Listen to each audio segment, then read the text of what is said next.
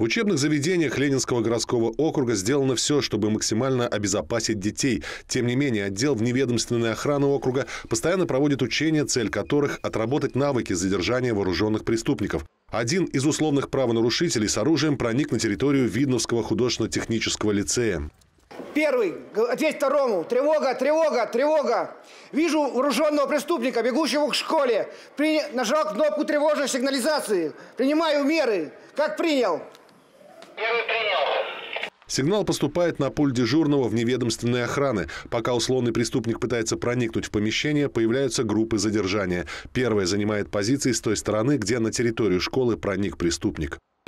2729. Преступник побежал в сторону главного входа.